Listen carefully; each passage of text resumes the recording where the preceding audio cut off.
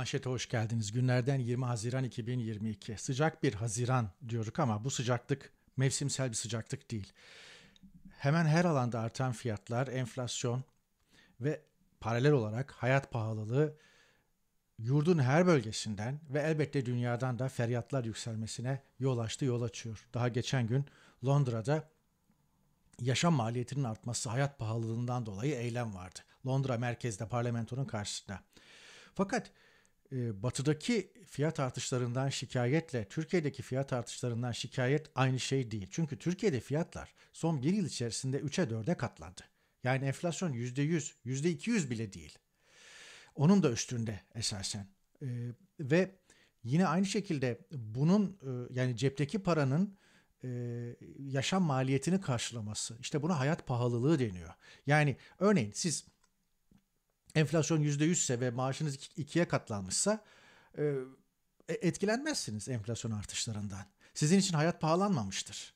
Ama enflasyon %100 iken sizin maaşınız %20 zamlanmışsa, %30 zamlanmışsa e, hayat sizin için pahalanmıştır. Hayat pahalılığı ile enflasyon arasındaki ilişki bu. Aynı şey değildir ama yakından ilişkilidir.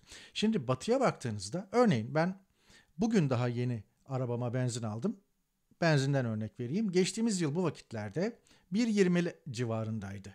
Şimdi 1.80, 1.85'e doldurdum arabanın deposunu.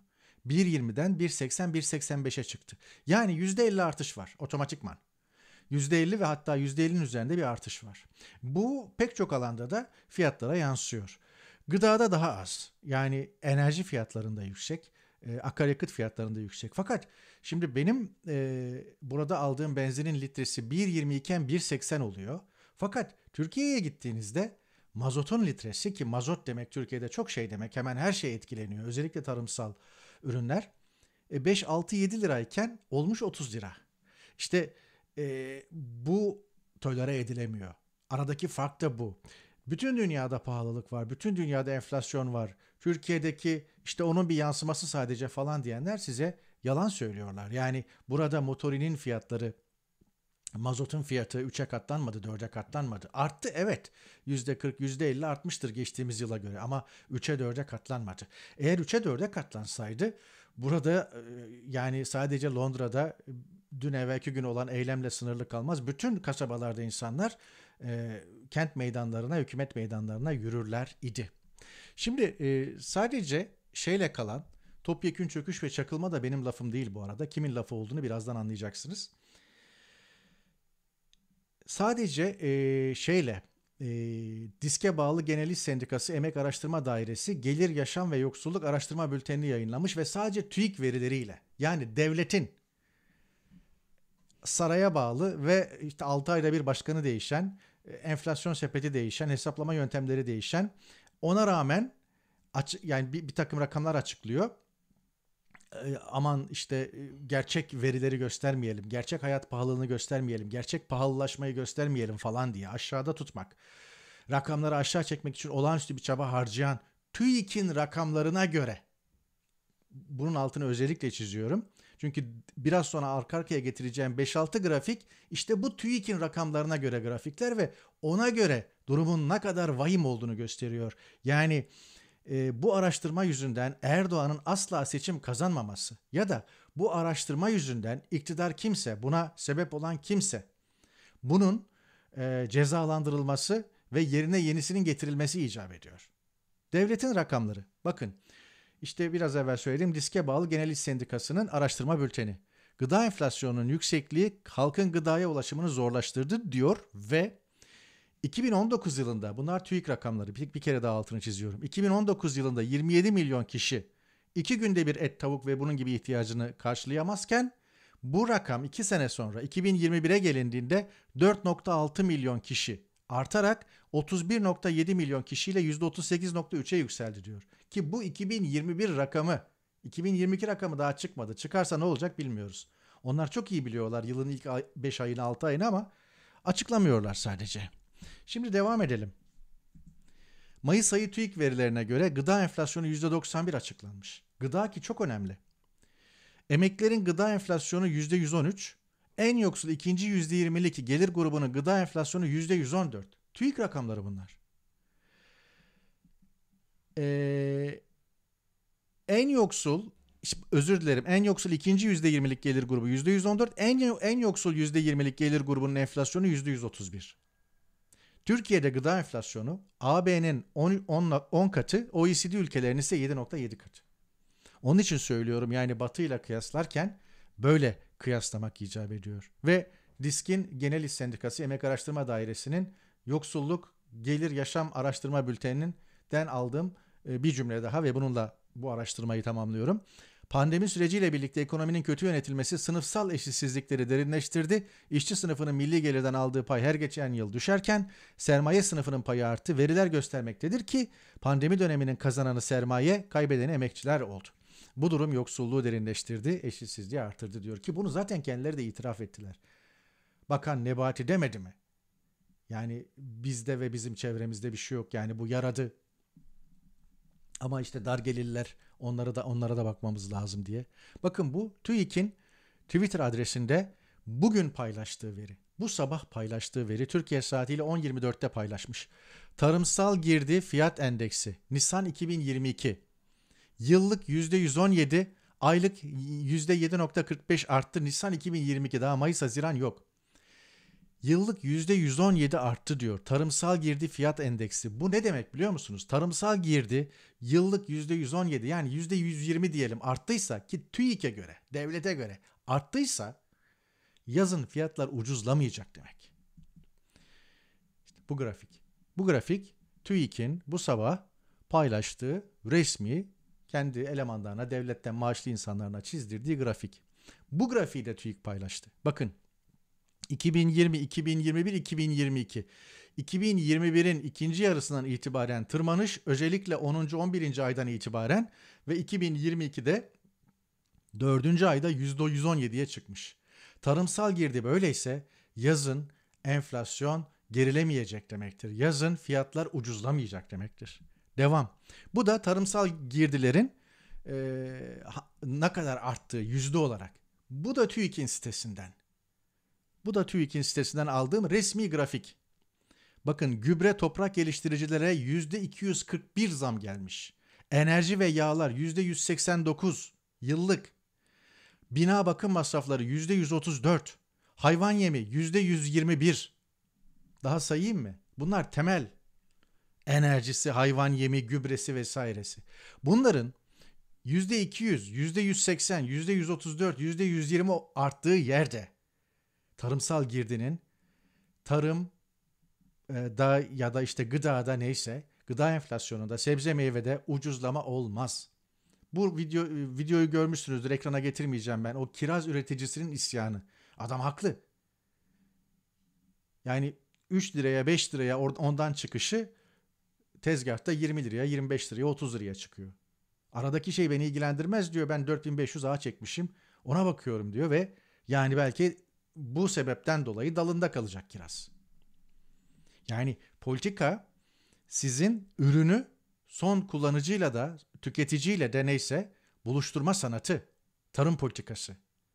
Elbette arada distribütörler var, nakliyesi var, şusu var, busu var ve elbette hepsi de para kazanacak ve elbette hepsinin de bir maliyeti var. Tüketici gidip de dalından kiraz almıyor bir kilo ver şuradan yarım kilo ver diye. Tüketicinin evine marketine kadar bir zincir tazeliğini koruyarak o ürünlerin gelmesi. Bakın Türkiye'nin gerçekliği bu. Motorin 30 lira.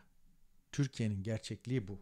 Ve yine e, ekonominin yavaşlamasını bekliyorum demiş Amerika Maliye Bakanı. Fakat Amerika'da yakıt fiyatlarında geçici olarak vergiye askıya almak gündemde. Hep söylediğim şey e, devlet vatandaşla marketçiyi, devlet vatandaşla emlakçıyı falan karşı karşıya getiriyor. Ama devlet kendi elindeki e, enstrümanları kullanmıyor. Amerika yakıt fiyatlarında geçici olarak vergiyi askıya almayı düşünüyor ama senin devletin düşünmüyor. Pat diye yapabilir bunu. Doğalgazda yapabilir, elektrikte yapabilir, akaryakıtta yapabilir. Yapmıyor. Bakın dolar bir yılda yüzde 102, petrol bir yılda yüzde 70 artarken Mazot niye %315 arttı diye soruyor korkusuz hafta sonu manşetinde. Haksız mı? Çok haklı, çok doğru. Halkın %87'sinin tatile gidecek parası yok diyor ki. Çünkü yani bırak uçak fiyatlarını otobüs fiyatları patlamış durumda. Yani bir, bir, bir noktadan bir şehirden bir şehire gitmek 500-600 liradan başlıyor. İnanılır gibi değil. 13 şehir hastanesi 5 bakanlığın bütçesini yuttu. Sözcüden Erdoğan Süzer'in haberi. Zenginleşenler zenginleşmeye devam ediyor. Bu şehir hastaneleri projesinin nasıl bir rant projesi olduğu da ortaya çıktı. Sağlık Bakanlığı ile arasındaki kira mukavelesi şu bu falan baktığınızda yine merkezde insanların gidip gelip işini halledebileceği hastanelerin kapatıldığını, doktorsuzlaştırıldığını falan da gör, gördüğünüzde bu işin nasıl bir e, doldur boşaltla zenginleşme aracı olduğu da görüldü. Daha da görülecek ve yaşayacak insanlar. Sağlık hizmetlerine erişim ve işte ilaçta sıkıntı büyük evrenselin manşeti. Şubat'ta ilaç fiyatlandırmasında baz alınan euro kurunun yükseltilmesiyle kısmen çözülen, çözülen diyor ilaç krizi euronun piyasada 18 TL'yi aşmasıyla yeniden patladı. Hemen her alan patlayacak böyle. Dikiş tutmayacak. O arada alt varyant uyarısı gelmiş e, korona aşısını geliştiren Uğur Şahin'den. Valla kusura bakmasın Uğur Şahin ama ne yapıyorsa yapsınlar. Artık her sene herhalde bir doz aşılanacağız ayrı bir konu. Ne dünyanın ne Türkiye'nin artık öyle kapatmayla şundan bununla bu işi e, çevireceği yok. E, korona, grip gibi hayatın bir gerçeği. Bu zaten artık uzmanlar tarafından da ifade ediliyor.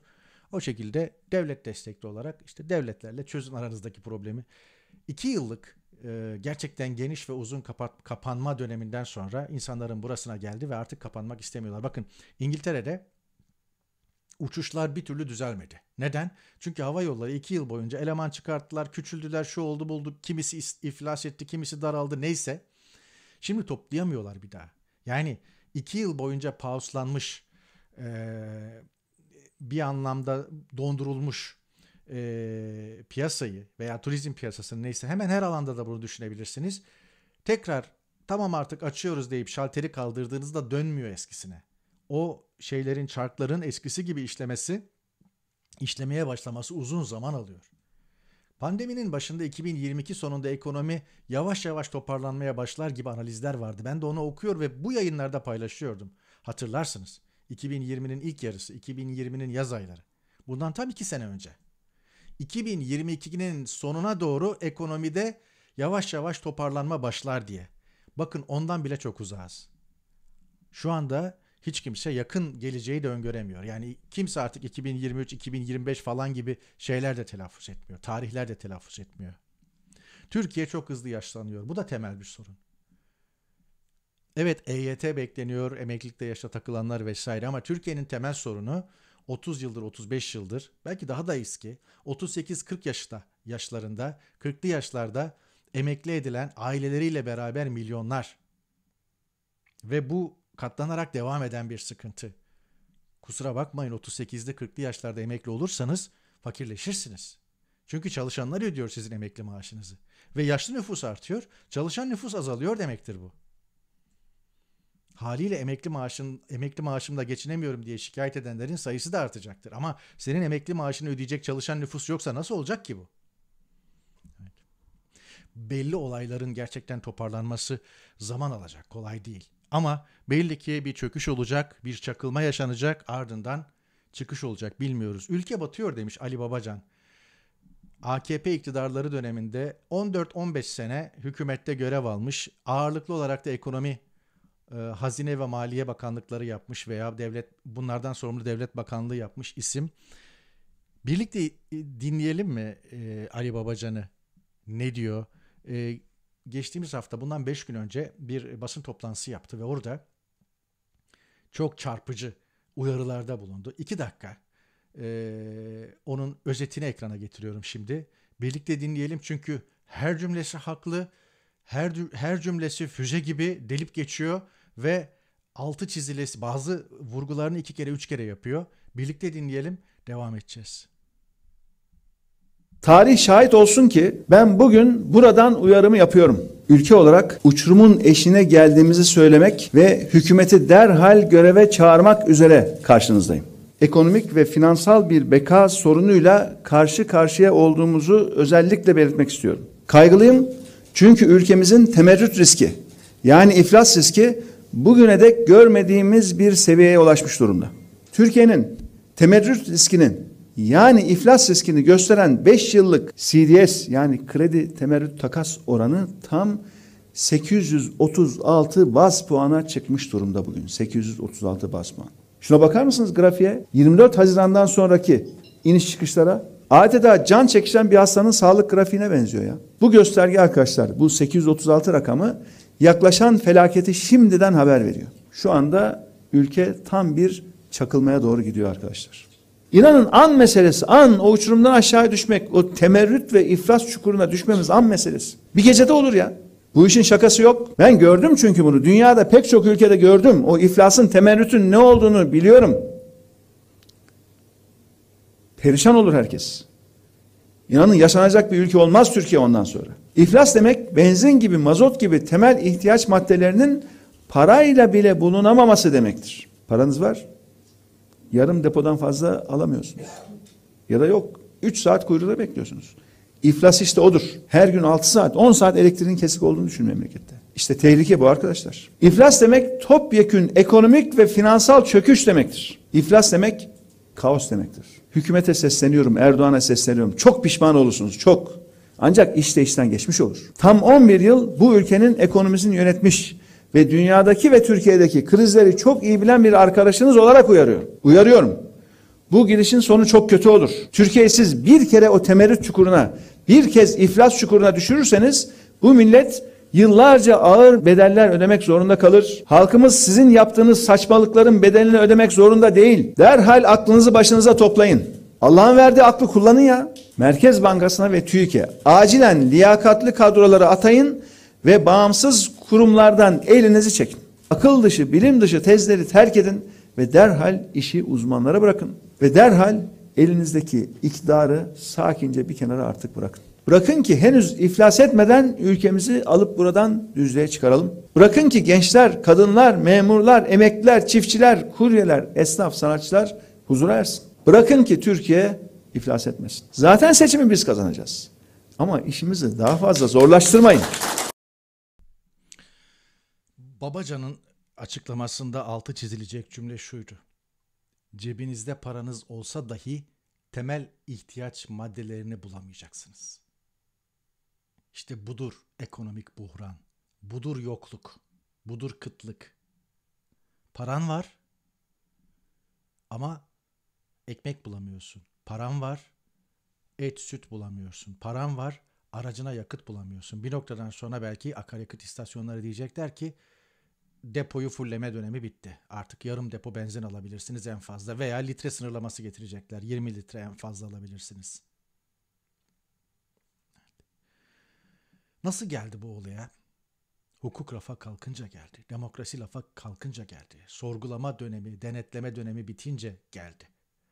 Ve tek adam dönemi tüy ekti üzerine adeta. Tüy dikti, pardon. Hayrettin Karaman fetvalarıyla geldi. Nasıl gelindi bu döneme? Hayrettin Karaman fetvalarıyla gelindi. Ve Diyanet İşleri Başkanı çantasını polis taşıyormuş. Kim? Diyanet İşleri Başkanı'nın değil, eşinin. Polis Diyanet İşleri Başkanı'nın eşinin çantasını taşır taşıdığı için geldi. Aynı polis Diyarbakır'da gazetecileri topluyor ve bu şekilde de suç aleti diyerek onların kameralarını sergilemiş Diyarbakır Emniyeti. Dönemin resmidir bu. Kitap sergilemesi gibi, böyle bir dolarların sergilemesi gibi vesaire. İşte ayçiçek yağının gözaltına alınması hikayesi gibi.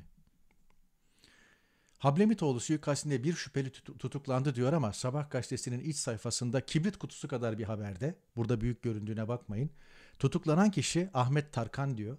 O kişi kim biliyor musunuz?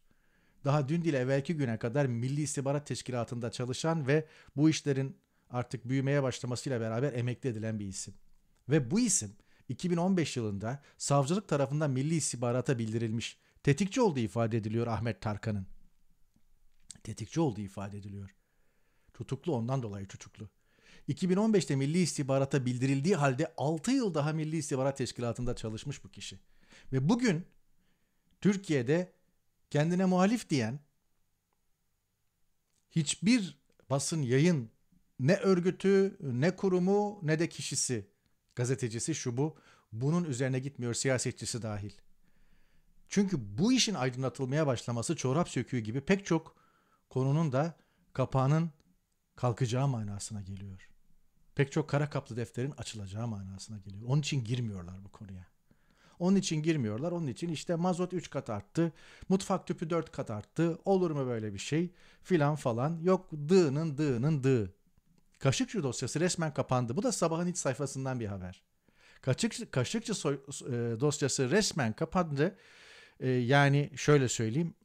Mahkeme heyeti kararını açıkladı. Davanın durmasına ve yargılamanın Suudi Arabistan adli makamlarına devredilmesine karar vermiş. Son artık nihai. Ve Prens Selman geliyor. Hepsi birbiriyle ilişkili. O arada gene eş zamanlı bir karar. 33 ile yeni başsavcı atıl, atanmış 33 vilayetin başsavcısı değişiyor. 5426 hakim ve savcının da yeri değişiyor. Bakın Türkiye hala böyle coğrafi yerindelik garantisi, coğrafi teminat vermiyor hakim savcılara. Esasen niye vermiyor? Çünkü ben diyor kafama göre hakim ve savcıları istediğim yere atarım, istediğim yere sürerim daha diyor. Benim işim bitmedi. Bakın işi hiç bitmeyecek hakim ve savcılarla. Böyle gittiği sürece hiç bitmeyecek ve coğrafi teminat verilmeyecek. Coğrafi teminat en temel e, konulardan biri. Doğru adalet için, adaletin işleyişi için. Niye? Çünkü bir hakim veya savcı yaptığı bir işlemden dolayı başına bir şey gelmeyeceğini bilecek. Atanmayacağını, sürülmeyeceğini, sürgün edilmeyeceğini bilecek. Coğrafi teminatı vermiyor Ankara ve vermeyecek. Bu yönetim devam ettiği sürece de veremeyecek. Neymiş efendim? İşte Cemal Kaşıkçı dosyasının Suudi Arabistan'a devredilmesine karşı muhalefet şerhi yazan İstanbul 12. Ağır Ceza Mahkeme Başkanı Nimet Demir, Kahramanmaraş'a, Gezi Parkı davasındaki karara muhalefet şerhi yazan hakim Kürşat Bektaş, Tokat Turhal'a hakim olarak atandı. İşte böyle sürülüyorlar. Nimet Demir de Halk TV'ye konuşmuş ve mesleğe devam etmeyeceğim demiş. Yine aynı şekilde HSYK yaz kararnamesiyle kaçakçılık ve örgütlü suçlardan sorumlu Ankara Cumhuriyet Başsavcısı Vekili Alparslan Tufan görevden alınmış. Ankara Batı Cumhuriyet Savcılığına Başsavcılığına atanmış. Bu kişi e, Gelecek Partisi Genel Başkan Yardımcısı Selçuk Özdağ'a yönelik saldırı soruşturması ülke ocakları mensuplarına uzanınca başsavcı vekili olarak başsavcı vekili olarak e, doğrudan MHP'li vekiller ve ülke ocakları tarafından sosyal medya üzerinden tehdit edilmiş, hedef gösterilmişti diyor. Alican Uludağ. Bakın diğerleriyle de ilgili şeyler var bakarsınız ama en tepedekine dikkat. 2016 yılında Cumhuriyet Gazetesi'ne yönelik Gülen yapılanması soruşturması yaparken FETÖ üyeliği suçlamasıyla yargılandığı belirtilen Malatya Cumhuriyet Savcısı Murat İnam Ankara Bölge Adliyesi'ne atanmış. Onun için diyorum Türkiye'de gerçekten gazetecilik sorgulama bitti. Yani ve 7 yıldır 8 yıldır iktidarın diskuruna, iktidarın ürettiği suç tanımlarıyla, iktidarın ürettiği örgütlerle, iktidarın şeytanlaştırdığı insanları alıp kabul ederek falan o şeytanlaştırmayı alıp kabul ederek iş tutanlara gelsin bu. Bakın Murat İnam'a kim olduğunu bilmem tanımam. Dün değil evvelki gün ya işte o Cumhuriyet Gazetesi yargılanıyor ama bunu yargılayanlar hakkında FETÖ'den işlem yapılan şeyler yargı mensupları falan böyle bir şey olabilir mi? Siz hala FETÖ usulü iş tutuyorsunuz. Adam Ankara bölgeye e, bölge adliyeye mahkemesine üye olarak atanmış. Ne oldu sizin e, o, o, o günkü e, gevelemeleriniz? Yani geçeceksiniz bunu. Aynı şeyi Selahattin Demirtaş davasında e, Selahattin Demirtaş'ın avukatları da yaptı aynı hatayı. Aynı hatayı Gezi davası avukatları da yaptı veya Gezi davasını savunanlar da yaptı. Esasen yaptıkları şey şu yani bir, bir resmi tarih inşa ediyorlar. Bu ve bunu iktidarla beraber inşa ettiler. İstemedikleri bir grup vardı, istemedikleri bir e, kitle vardı neyse. Onun üzerinden o şeytanlaştırma bunların fena halde işlerine geliyordu son derece kullanışlıydı. Son günlerde biraz azaldı gerçi. Artık bunu biraz utanıyorlar söylemeye. Ya işte e, FETÖ'cü, cemaatçi, savcı, hakim falan demeyi. Niye? Çünkü üzerinden 10 sene geçti adamlar tasfiye edileli yahu. 10 yıl olmuş tasfiye edileli. 10 yıl. 10 yıl FETÖ'cü dediğiniz polisler, hakimler, savcılar tasfiye edilmiş.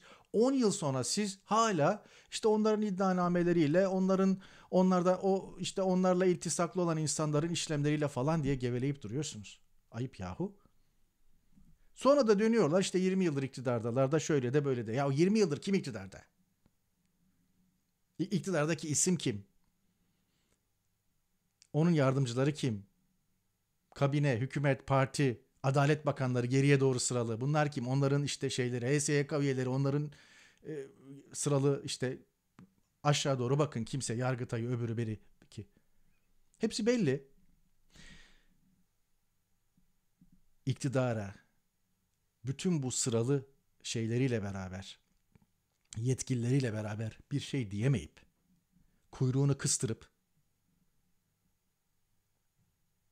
işte 2006, 2008, 2010 ezberleriyle konuşmak tek kelimeyle alçaklıktır.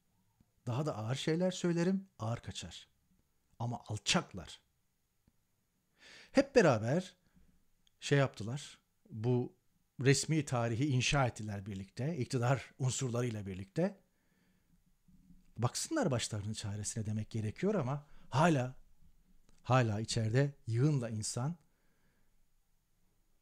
cezasını doldurduğu halde gerek ya bütün kriterler, anayasa, ceza kanunu, evrensel kriterler ona rağmen içeride tutulmaya devam ediyor. Onların yüzü su, suyu hürmetine gene de bu kadarla iktifa edeyim, keseyim. Bakın, Uluslararası Osmanlı Seferberlik Halk Harekatı İstanbul İl Başkanlığı. Bu ne yahu?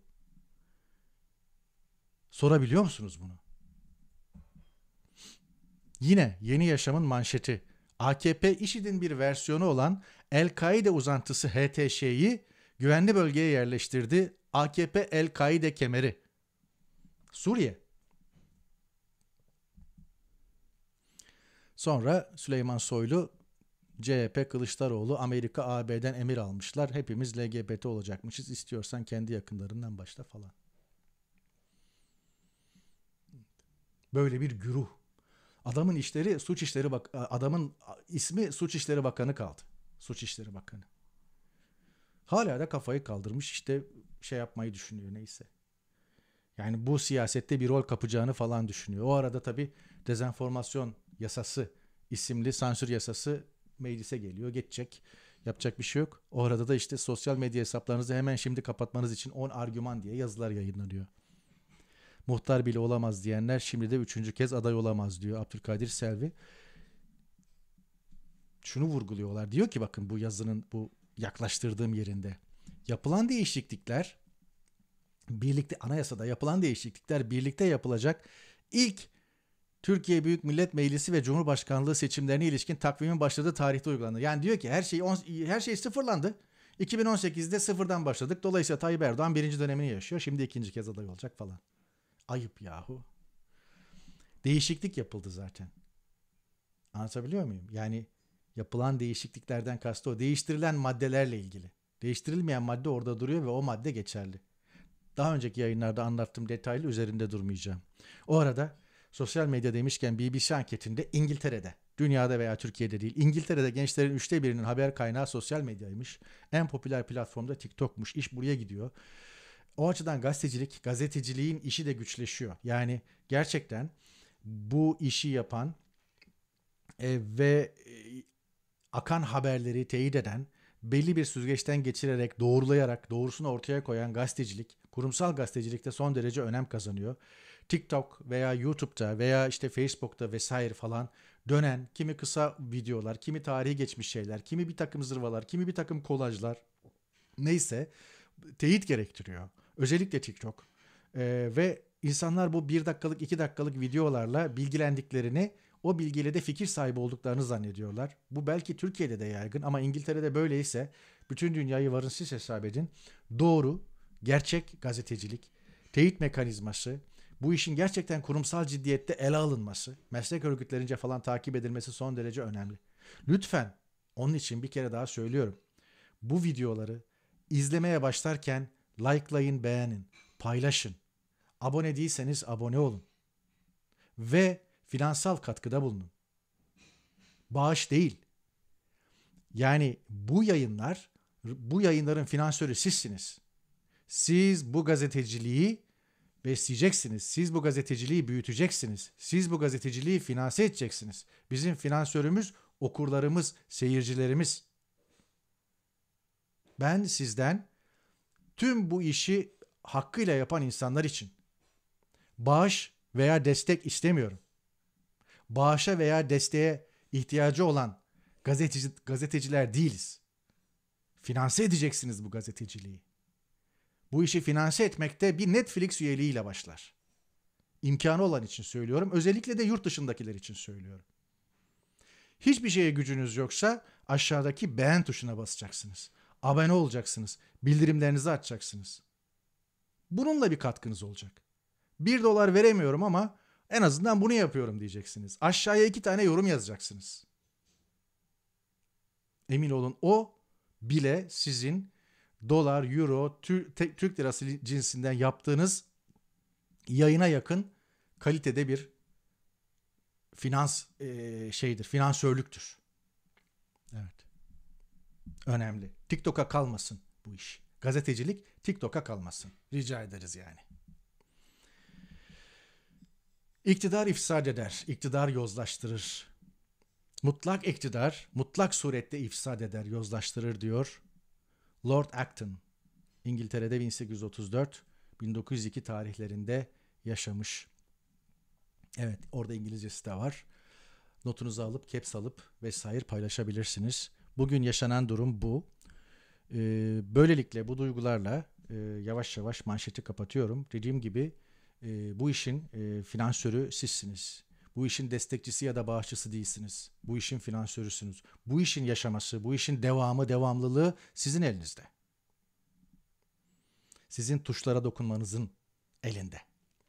Bir sonraki yayında görüşmek umuduyla efendim. Hoşçakalın.